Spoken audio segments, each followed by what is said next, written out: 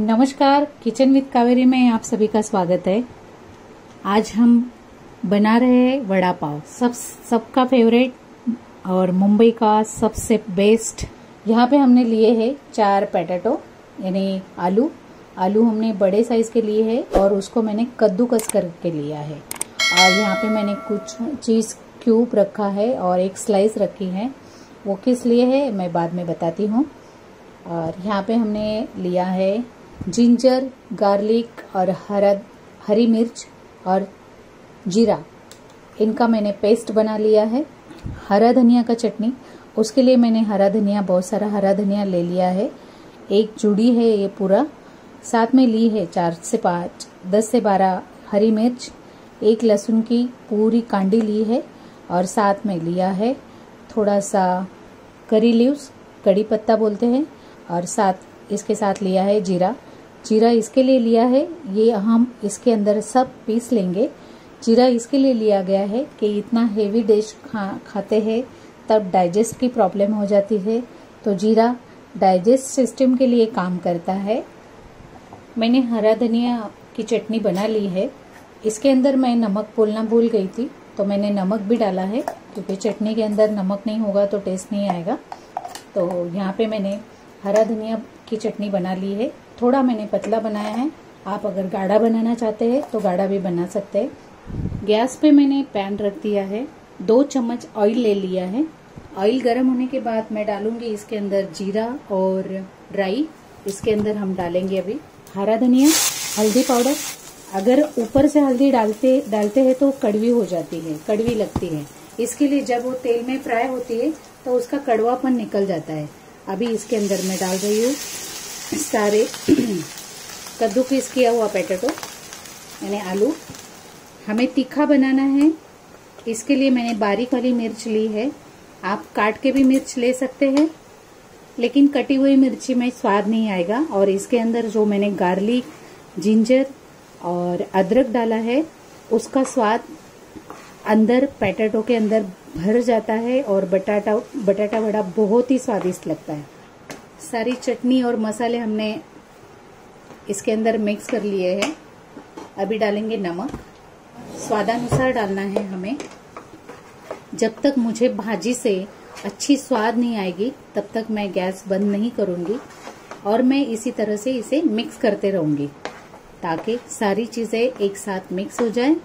इसकी खुशबू जो है बहुत बढ़िया आ रही है, क्योंकि जिंजर और गार्लिक की वजह से। अगर ये भाजी बच भी जाती है, वड़ा पाव अगर बनाते बनाते आपकी भाजी बच जाती है तो ये भाजी आप पराठे के लिए भी यूज़ कर सकते, आलू पराठा आप बना सकते हैं इससे। यहाँ मैंने बेसन का आटा ले लिया है। ये लगभग 250 ग्राम आटा है, यानी एक पाव।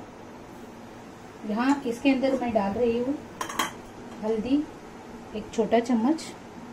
नमकीन खाते हैं, उसके ऊपर डिपेंड है। जब ये भीग जाएगा तो थोड़ा सा टेस्ट करके देख लेना। अगर नमक कम है तो डाल सकते हैं। चटनी बना के रखी है, हरी मिर्च की, वो मैं थोड़ा सा डालूँगी इसके अंदर। इसे हम अभी बैटर बना लेते हैं। बैटर ऐसा होना चाहिए, जिसमें हमारा वड़ा जो है, पूरी तरह से डूबे और पूरी तरह से उसके अंदर ये बेसन है लग जाए। तेल गर्म होता है, तब तक हम यहाँ पे वड़ा बनाएँगे। जैसे कि मैंने पहले ही कहा, हम लोग थोड़ा डिफरेंट टाइप डिफरेंट टाइप का हम वड़ा बना रहे हैं आज। जो भाजी है, वो मैंने ले ली है हाथ में। और इसके अंदर मैं डाल रही हूँ चीज़ तो हम बना रहे हैं आज चीज़ वड़ा पाव। इसको करेंगे बंद। बाहर दिखना नहीं चाहिए।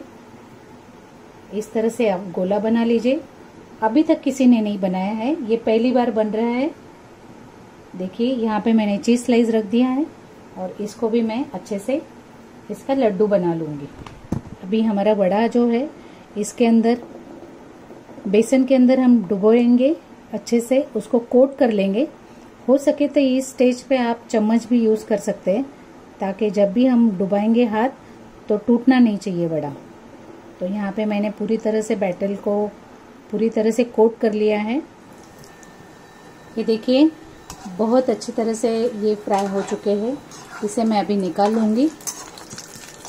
निकालते निकालते बच्चों ने बहुत सारे वड़े खा लिए हैं। तो चलो अभी हम पाव गरम करते हैं। उसका भी एक प्रोसेस है। जिस पैन में मैंने सब्ज़ी बनाई थी, वही पैन मैंने वापस से रख दिया है। हरे धनिए की जो चटनी बनाई है, वो मैं यहाँ पे लगा रही हूँ। मैं चीज़ स्लाइस ले रही हूँ और उसके दो टुकड़े करूँगी हाथ से ही। यहाँ पे एक आधा टुकड़ा रखूँगी, यहाँ पे एक आधा टुकड़ा रखूँगी और इसे कर लेंगे हम बंद। हमारा चीज़ वड़ा पाव बिल्कुल रेडी है, बिल्कुल न्यू और बहुत ही स्पाइसी और टेस्टी वड़ा पाव हमने आज बना के आपको दिखाया है। आपको ये रेसिपी ज़रूर पसंद आई होगी तो ज़रूर लाइक कीजिए सब्सक्राइब कीजिए और हाँ बेल आइकन दबाना मत भूलिए, ताकि आने वाले सारी वीडियोस की नोटिफिकेशन आपको मिलती रहे।